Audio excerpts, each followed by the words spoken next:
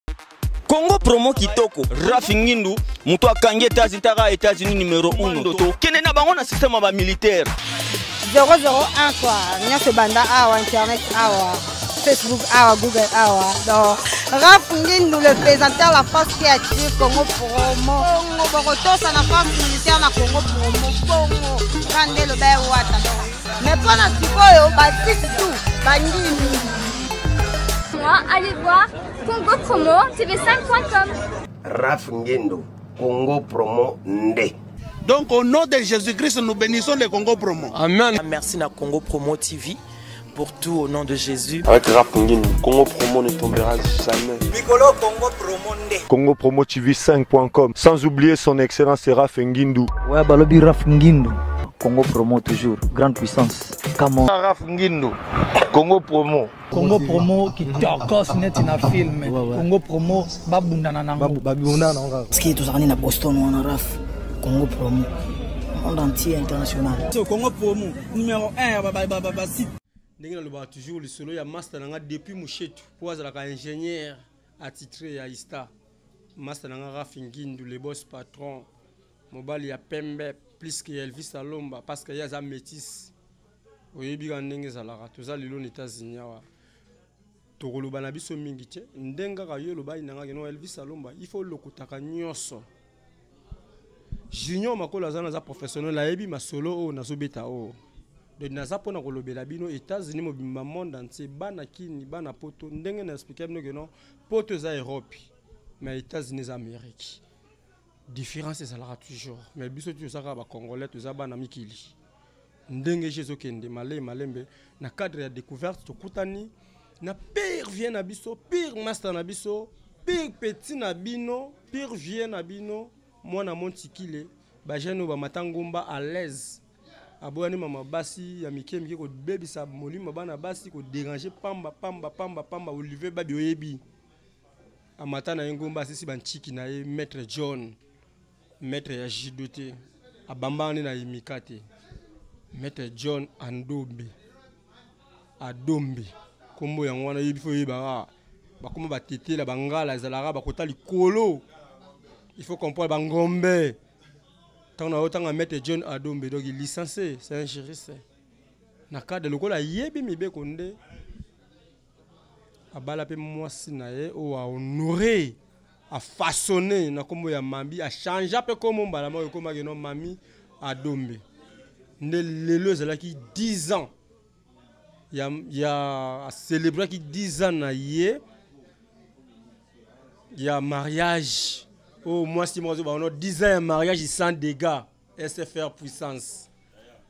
masa ya denis bilo kokese pire petit ya masta na nga lex namu na gira le superviseur attitré mpo balobaka anglais me bazokoma te na anglais na yo baana ba 20 pourcent alati chapeau jaune masta na nga namu na gira pire masa héritier wax le roi de givenci abi elvis alomba mokonzi ya waterlo nakobeta lisusu ba givenci te junior makolo ayebi nakomi na ba philippe plaine ba saint laurent naza kosalela catalogue ndenge masolo ezokende alpha nzenge pire petite sœur ya vie na nga lakisi lobaki vie na nga lakisi lobaki oyo alobaka toujours ke non na braza ige kolondele na kinshasa andre kimbuta na waterlo elvis salomba siko yo okolekela wapi bana paris ya solo na ndenge ya kine oyo abengi bandal vie na nga lakisi lobaki alobi bongo prêtre playboy abetaka bapiese andima peti nde mokonzi awa te olobi peti ozodefendre biso na mboka o sikoyo yo ozolinga oya na baloyenge na biloko no wana beti ofimbu ya vie na ngai zakaki bababaso yatika yango na, na parlement mpo falaka abeta badepute mosusu metama comportement ezongaki na nzela abi peti na ngai na états-unis zwa yango na récupéré yango sandra asila ya olivier babia le mignon garçon je ezokende bien ndenge awa tosololaki héritier wars ndenge tosololaki ke non tozalaka na sere na biso moko boye asepelaka mpe na libala ya sere mami adombe mwasi ya maître john nkombo na ye sere na biso verdi verdi onokundu mwana motetele ya solo azobeta bapiese azolata na catalogue nene asala apesi nanga moko nzaba terlo moni mboka wana na ya ofanda na bimere ya kofanda a ah, bafuta mbonge ebele olesa aire kote ofanda kuna junior makolo ayebi nde tozalaki na cadre ya fin de l'année premier jour ya année nde premier jour mpe ya vie na biso na waterlo maître john adobe maître ya judoka te ntango naza koexplikaka bino bamasa na ngai aza maître juriste liyebo le premier notable de waterlo ah, boni beko soki ngai nazoloba olivier babia pesaka ngai raison alfred barros le roi de chicago bambote ya trop babonne fete nayebi ke oza kohonore fete ya monene mpo na petite sere autaki suede avivre états-unis alive mpo akende kopesa bana poto sango keno nautaki na amérique babonne fete 2017 nde nazocontinue toujours nakopesa mwa bamasta mbote bafabrice lolema lolemaskin yo oyebi kaka mamout sommet de sommet rite sokoto bamasta oyo bazolata kitoko nazala bafan club na bino soki olata yano bien te nakotanga nkombo na yo te yango lelo tozali awa na cadre ya 10 ans d'anniversaire ya mariage nde tozo célébrer 10 ans sans likofi sans police oyo oh, polisi aa na ndako nati masa na ngai eriki manduka komosola mabe mikolo ekomi kena oyo polisi na ndako polisi nini yo comprendre nde makambo yango ezokende bob kabango na mboka oyo basololaka bien mwasi babengelaki polisi te junior makolo yango toza kozela falon luzolo soki oye okokontrole bamama nyonso tu falon luzolo okokontrole bango okozala camarade ya motu te mokonosolano kaka bien na bango nyonso tu opesa bango kaka mwa exemple kaka no ah, mokonzi ya waterlo elvis alomba asololaka nde tozokende aza esengo ya trop mpo na journée ya lelo bana mai namoni keno tout waterlo debo bajeune play kitoko donc rêve na ngai ekoki vruma ndenge nazolinga ndenge nalingaka ndenge nalobaki na vie na ngai lakisi lubaki ndenge nalobaki na vie na ngai joao masa na ngai ata nazobosana nkombo me bakomaka nkombo pembeni oglise motu na oyo nakosolola na ngai mpo oza motu na ngai playboy david milambwe solola basolisa yo donc je ezokende kaka bongo nde tozokende bolimbisa baoyo tu bozoyoka bakombo te o oh, elvis alomba obudaka elvis alomba rankine te en tout cas na profite mpe nasenga bino babolimbisi bana mai nyonso tu oyo na ganya ganya ganya bino na makambo etali eh, lisolo ya, ya forme nasengi na ngai bino bolimbisi bocomprendre kaka ngai kino ndenge na gagna na ngai bino mais eza kaka ligagna azalaka toujours na masolo nyonso tu ndenge toso contrôle jeu mboka ezokende bien bambote ya trop na famille alomba arden alomba petit frère propre Alain Alomba, Navi Alomba, Richard Alomba, Exaucé Alomba, Nabosanité, Steve Alomba et Davina Alomba, leader petit oyo la bientôt économie na université de Kinshasa. Nde omoni toza na kati ya mboka oyo nde tozobeta lisolo keno toujours la grand prêtre mère mwana motetela ya solo mwana motetela ya solo sœur na ngai Verdi onokunju yaka waterlo toza bien tozozela o mingi ya koloba eza te john vika blandini nguya ya ruki mananga bob kabangu aji kinkela toujours ntango ozozala cameraman yekolaka mosala pembeni ya junior makolo parce que lui c'est un professionnel ntango ozomona elvis alomba azovimba na boye ozomona design boye c'est grâce à lui ndomoni ba dédicace na batu tu ba Sandra Silla petit na nga parfaite kibala 001 quoi nyonso euta koto Atmos na Dallas l'économiste Willy Lokanga agence Yves Cargo bambota trop na lead ya Sanguma vraiment sentiment on est là tozo continuer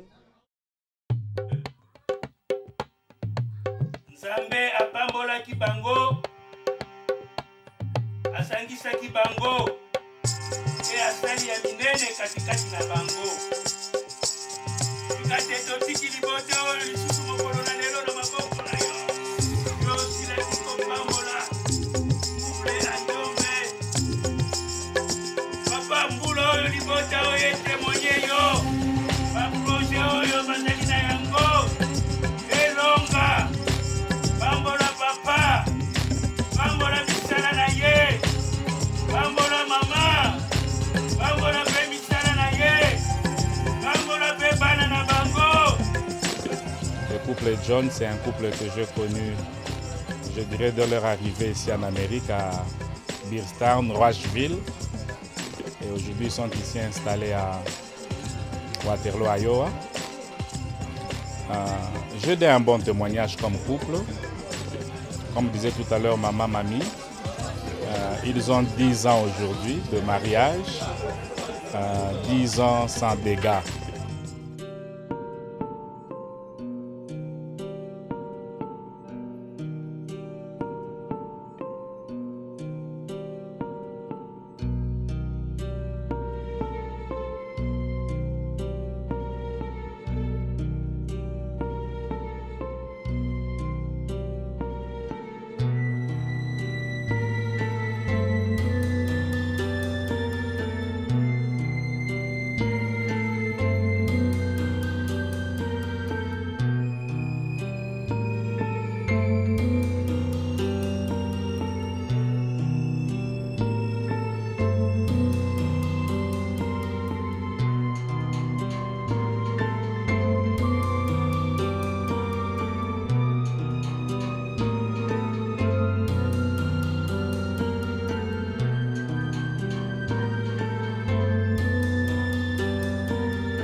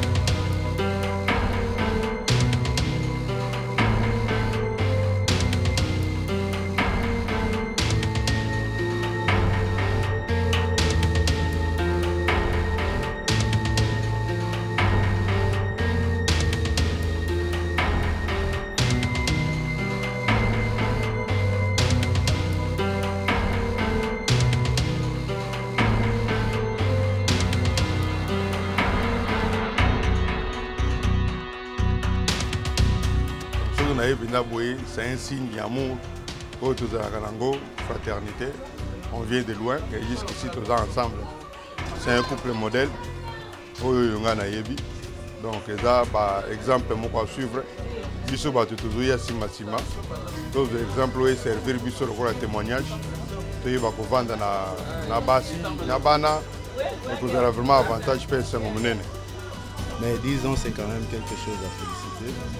Donc nous leur jetons le flair et nous demandons que le Dieu des grâces puisse faire encore beaucoup plus de bonnes choses et qu'il puisse encore beaucoup prospérer. Les gens disent Mengana Zoloba, là, oui c'est bien, mais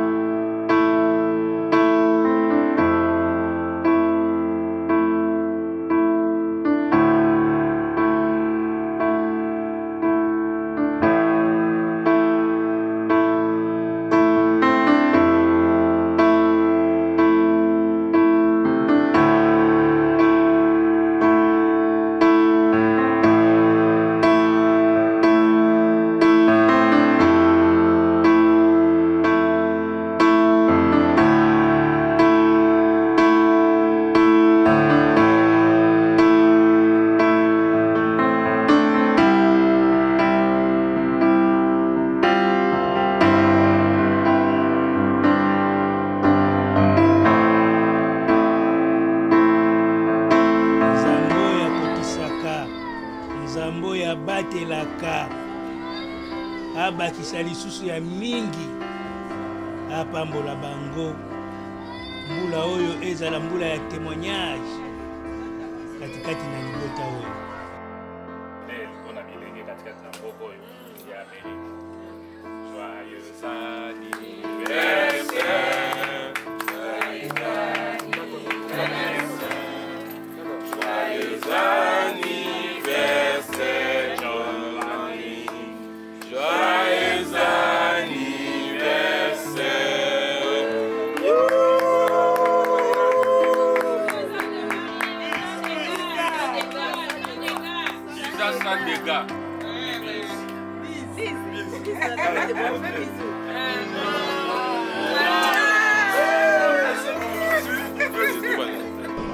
asangisi bango ti bakokisi 10 ans de mariage na bango tokosenga lisusu na nzambe abakisela bango lisusu ya mingi koleka ya mingi koleka oyo ezangaki na 2016 apesa bango lisusu na 2017 10 eza facile te po libala balobi libala ezoloka ngani ya nzakomba po libala basalaka nango je te alors soki lelo tosangani autour ya couple oyo eza mpenza plaisir ya mingi epuis euh, fo oyo na bakokisi 10 ans te balanda exemple ya john na mwasi na ye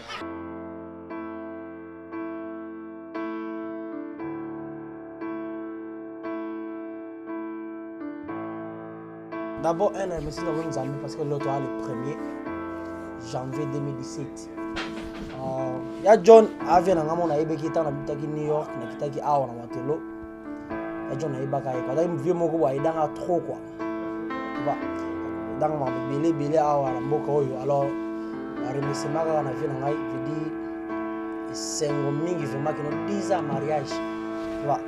biso tobandini kutu sika kutu toyeba ta biso tokokisa ba 10 ans wana kutu mais tanke bango bakomisi ba 10 ans wana faut féliciter bango quoi parce que abala états-unis awa bata bakotaki bakini mais ata akomi awa mais komaka bitumba komaka mibele koswana banini mais mais vie depuis nayebaki na sere mami na ngai esengo ya trop quoi napesi bango bafélicitation trop babravo ya mingi po parce que c'est pas facile hein? eza facile te eza lokola mpe oboti mwana mwana akolaka akokisa 10 ans tomoni baetape ya mwana ndenge ezalaka eza facile te donc euh, napesi bango baremerciement ya mingi nasepeli baninga nyonso tu baye awa mikolo bayaya baleki oyo baye kosepisa john Euh, conseil na nga kaka mingi nazopesa kaka na mingi ba na bajeune na biso communauté congolais bajeune oyo bazoya sika oyo bazolinga komekameka donc euh, ozwi kaka mwasi omoni kaka mwasi otie na palais sheke ekosi yo obi oyo nazobala lobi lobi nga natelemelaka mingi biloko wana nalingaka ke bato bazwa batemp ya lokola john azwi temps mpo omona azwa mami ayeba mami mpo explika ngai histoire na ye bakoma lelo nde bakomi boye eza facile te yango nakopesa bajeune tout oyo bazoya awa na waterlo oyo bazoya na états-unis sheke ekosa biso te donc ntango ozolinga obala luka bakolo mpe bapesa bino conseil donc bozwa temps na basi oyo bozolinga bozwa temps na makambo nyonso ozosala donc bozwa sérieux quoi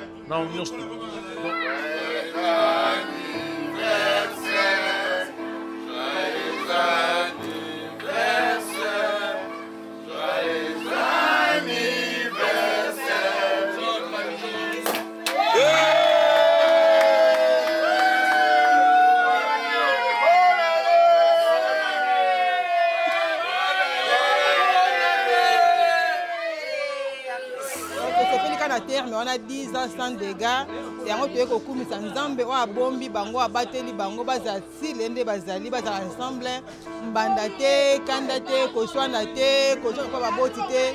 topesi nzambe merci yango tosenga na bambula oyo eza koya nzambe oyo abatelaki bango banda na 0 ane ti na 10 ans oyo azala le meme oyo akopesa so bango bolingo wana ya kozala ensemble ya kodemere kati na yesu kati na transparence kati na komikitisa nzambe wana su abomba bango abatela bango ti mokolo ye moko ayebi ntango akoki kokabola bango déjà kozwa occasion ya kolobela bango quelque chose boye c'est déjà euh, quelque chose de grand mpo na nga vraiment baza exemple monene à suivre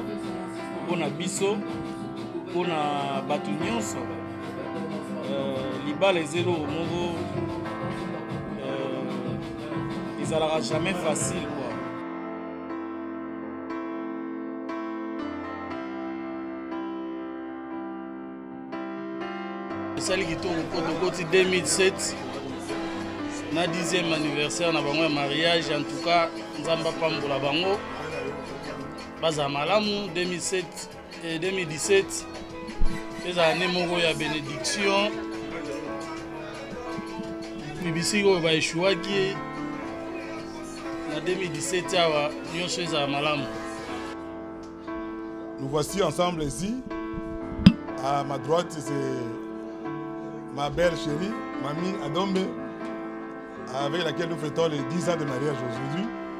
À ma gauche, Jordi Adombe. Il a 8 ans et quelques mois. Au milieu, et ici, David Adombe. Et à côté de maman, c'est Elena Adombe. voilà, euh, aujourd'hui nous fêtons les 10 ans de mariage. Au début, je, je disais tantôt, c'était comme une rêve. Euh, comme un rêve. maintenant, nous sommes ensemble. Dieu a fait que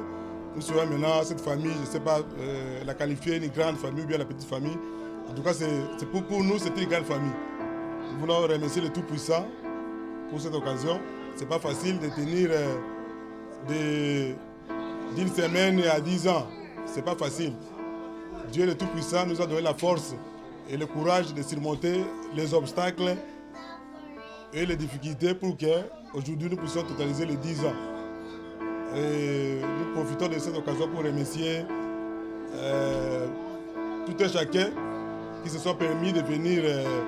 euh, se, réunir avec nous. En tout cas, pour nous, c'est une joie. Nous remercions le bon Dieu et nous souhaitons qu'il puisse continuer à nous garder, à protéger les familles, notre progéniture, pour que nous puissions aller de l'avant. Et merci à tout le monde. Je remercie mes amis, je remercie ma famille, ma belle famille qui nous soutient à chaque fois, qui ne nous laisse pas.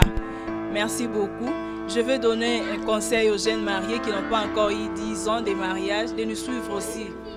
Notre secret, c'est la prière et les dialogues. À chaque fois que vous avez un problème, il faut consulter d'abord Dieu. Il faut avoir aussi l'habitude de dialoguer à chaque fois. Vous verrez que vous, vous allez aussi nous suivre. Merci beaucoup. My name is Jory, and this is my family. It's my parents' um, 10th anniversary.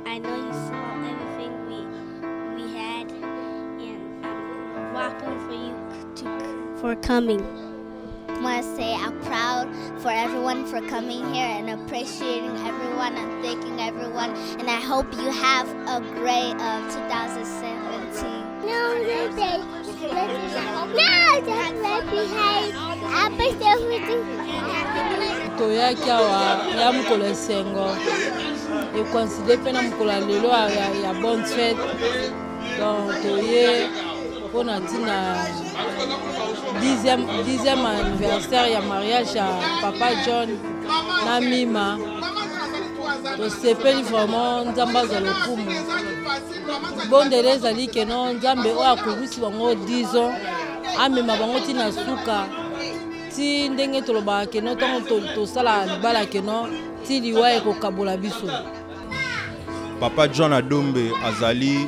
papa leki ya camarade na ngai jocelyn bagwabi na monga fula ye amoni biso ndenge tokoli na ti lelo tokomi mpe bapapa toboti bana tobali boye lelo toye kosepela 10 ans ya mariage na bango na mama mami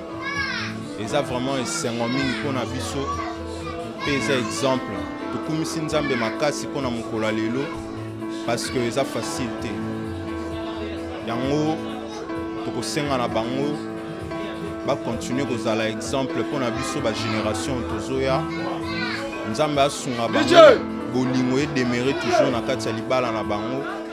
mpo na libela na libela na nkombo na yesu kristu merci